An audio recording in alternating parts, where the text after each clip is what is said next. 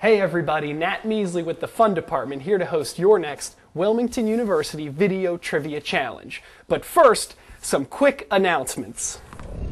First of all, we wanted to take a second to thank you guys for having such a great Halloween party. And congrats to Trudy Height, who was the winner of our last Video Trivia Challenge. She was able to determine that, yes, the HR family was going to show up as the Addams family. Also, we'd like to say thanks for helping us host such a successful food drive. Because of you, we were able to fill over 50 baskets filled with food and give away 44 turkeys to the food bank.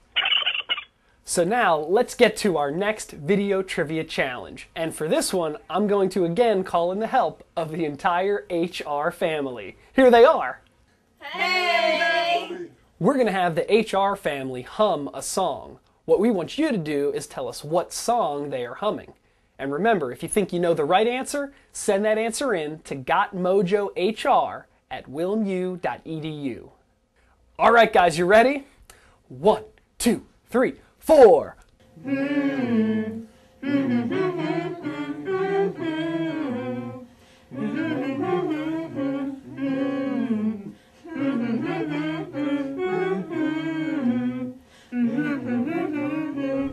All right, uh, thanks, HR team. You guys did great. I'll tell you what, let me give everyone a big hint in figuring out this trivia challenge. Here it comes. The 1970s was a huge decade for Wilmington College. It was the first time that they were accredited by the Middle States Commission on Higher Education and the first time they initiated their first ever graduate program, an MBA. All right, so thanks again to the HR team for helping us out.